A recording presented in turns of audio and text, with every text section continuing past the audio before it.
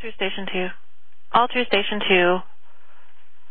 505 Cambridge Street, Alpha Chi Omega, for a female subject who heard her neck pop and now her neck hurts too much to move.